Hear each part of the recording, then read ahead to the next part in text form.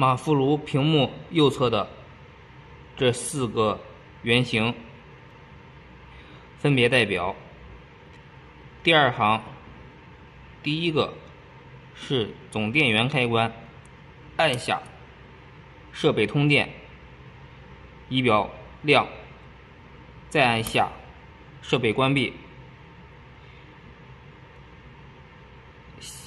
这一个是代表加热启动。仪表参数设定完毕以后，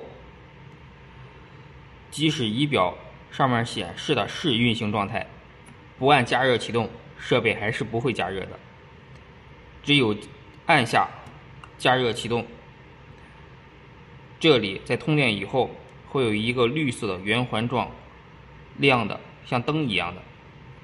加热才能正常启动，再按一下加热关闭。这一个是报警，当设备发生故障或者是仪表检测到设备有需要报警的时候，这里会有灯闪烁，然后有蜂鸣声。这不是一个按钮，所以说不需要按。这一个是散热，散热开关。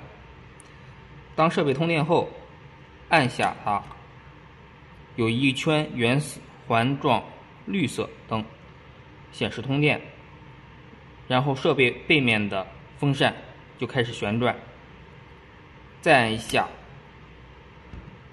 就关闭了，风扇也就停止旋转了。